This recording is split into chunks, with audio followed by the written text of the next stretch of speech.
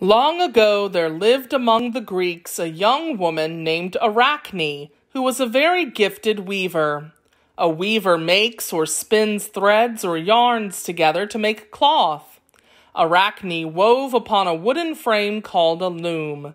She did not just weave solid colors, she wove tapestries, wonderful woven pictures that people would hang on their walls as art. People came from distant lands to see these masterpieces or great works in Arachne's studio. A visitor might comment, This is amazing! Why, look at the leaves on this tree. They look so real that you could almost expect them to move in the breeze. And this deer in the meadow looks as if he is going to turn and bound away. The visitors would tell Arachne, You are the finest weaver in all the world. But then they would add, except of course for the goddess Athena, who invented weaving. Athena was actually the goddess of all handicrafts, not just weaving. People flattered or complimented Arachne by comparing her work to that of Athena's. At first, Arachne was pleased with this comparison, but as years passed, she began to get annoyed.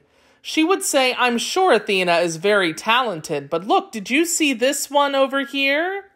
As still more years passed, whenever people compared her to the goddess, Arachne would angrily say, I don't care if Athena invented weaving. I think I am the best weaver in the world.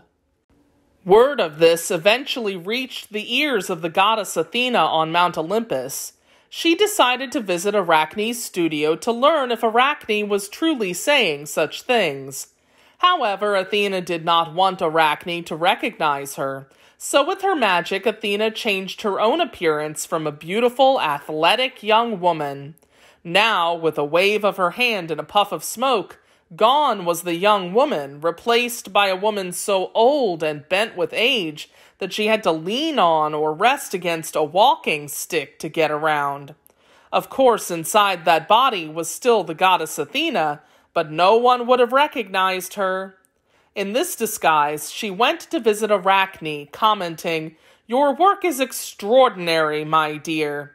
I am certain that you are the finest weaver in the world, except, of course, for the goddess Athena. Hearing this, Arachne, thinking she spoke to a bent old woman, angrily exclaimed, I am sick of hearing about Athena. I say that I am the best weaver in the world. Well, there was a puff of smoke, and when it blew away, who did Arachne see standing there with her but the beautiful goddess Athena? Arachne was afraid of what the goddess might do to her, but she took a deep breath and said, I meant what I said. I am prepared to prove that I am the best. I have two wooden looms for weaving. You use one, and I shall use the other. Let us see once and for all who is the best.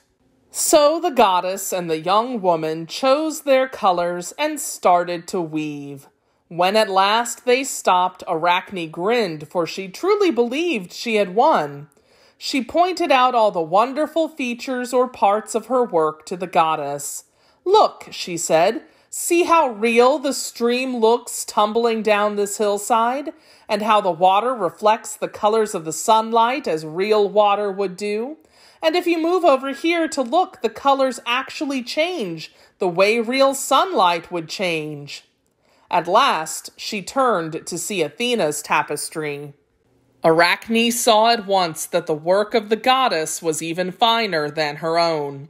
Athena had woven a stream, but hers seemed to ripple and move. She had woven clouds that appeared to float lightly in the sky, and above it all she had woven the gods in all of their majesty. Upset and embarrassed, Arachne turned and ran from the room. Athena caught up with her, asking, Where are you going? Arachne exclaimed, I thought I was the best, but you are superior, far better than me, and no matter how long and hard I work at it, I will never be as good as you are. I shall never weave again. Then Athena grew stern or harsh and firm. Everyone is born with some special gift or talent, if only they can figure out what it is and how to use it.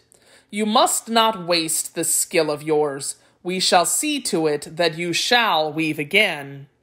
She reached out and touched Arachne's shoulder with the tip of one finger. Instantly, Arachne began to change shape. She grew smaller and smaller, and her body rounder and rounder. Her legs and arms grew longer and thinner until, after about five minutes, Arachne had turned into the very first spider in the world. Today, we call all members of the spider family arachnids, and that is why some people say all spiders are the children of Arachne the Weaver.